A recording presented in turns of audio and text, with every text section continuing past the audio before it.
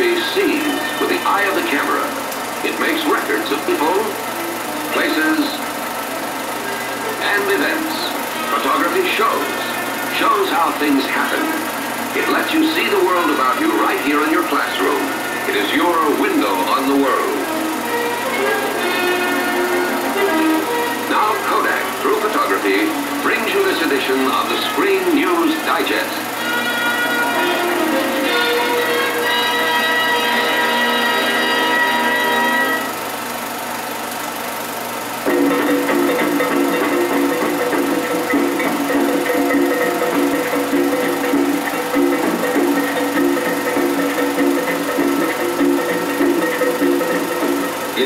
Was the jungle, hot, hostile, the heart of Africa, slumbering in the Stone Age.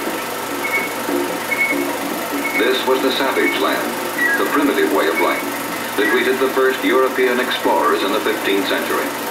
The natives were without alphabet or numbers, without written history or records. But legends spoke of lost civilizations, and Africa became known as the Lost Continent.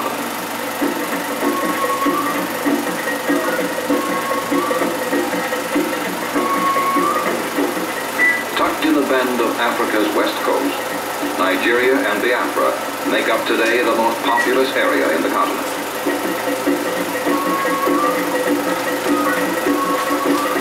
This is the story of their bloody civil war and of the ancient tribal rivalries that brought it into being. Under colonial rule, Nigeria and Biafra were one, part of a federation of 240 tribes, each with its own customs, traditions, language. A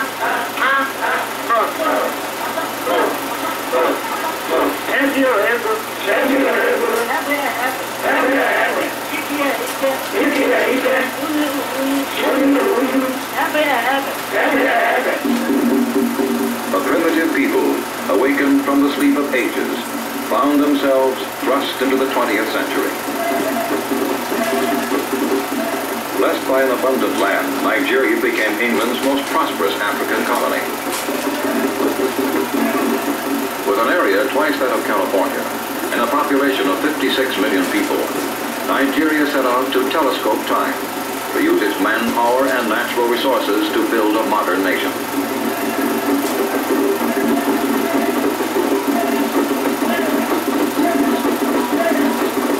Change came, slowly at first, but then passed with greater speed, greater urgency.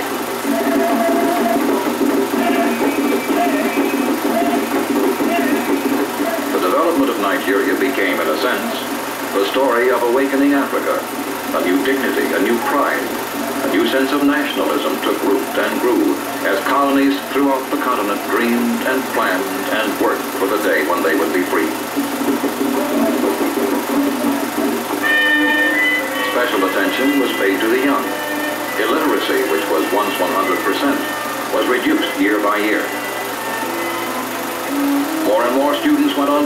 for advanced studies and graduate work. The instructors from Europe and the United States trained the young people of Nigeria in the skills of modern society.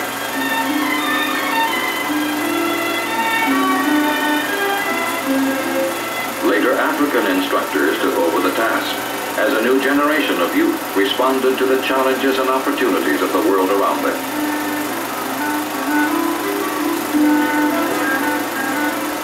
Strikingly modern hospital in Lagos, capital of Nigeria, reflected the changing face of the awakening continent. It was built by Europeans, but the doctors and nurses were Africans trained in European or American medical practices. This too was a part of the new Nigeria, where disease was being conquered by Africans themselves.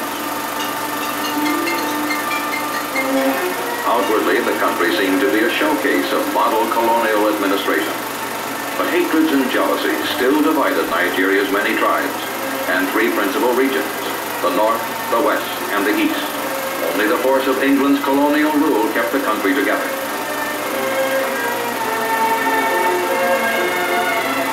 And in 1959, when Lagos made ready for a state visit by Queen Elizabeth, that colonial rule was coming to an end. The colorful ceremonies that marked her stay were themselves evidence of the deep divisions within the seemingly peaceful colony.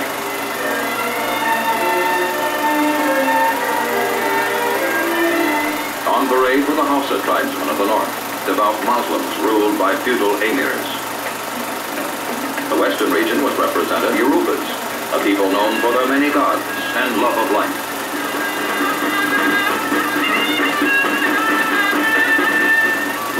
Last were the Igbos, the proud, ambitious, fiercely independent tribesmen from the eastern region.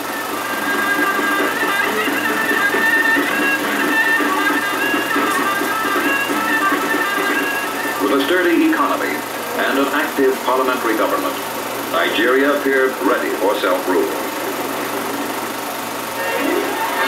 And so in London, a final conference was held to ratify the terms of independence and to arrange for the orderly transfer of power.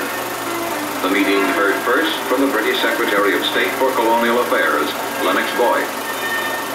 We all have one objective, the furtherance of the well-being of the people of Nigeria by the creation of those institutions which will ensure to them a future based on freedom, justice, and economic prosperity.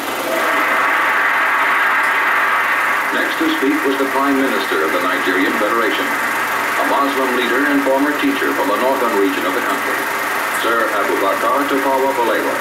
He spoke movingly of his country's hopes. In 1960, the present relationship between Nigeria and the United Kingdom will be superseded by a partnership. We trust that Nigeria will be welcomed into the Commonwealth and that through the Commonwealth and the United Nations organization, Nigeria will be able to make a positive contribution to the welfare of the human race. All that now remained was Nigeria's formal declaration of independence. The day came in October 1960. All the world watched and applauded, for Nigeria seemed to represent the brightest hope the most promising example of a former colony assuming the rights and responsibilities of independence.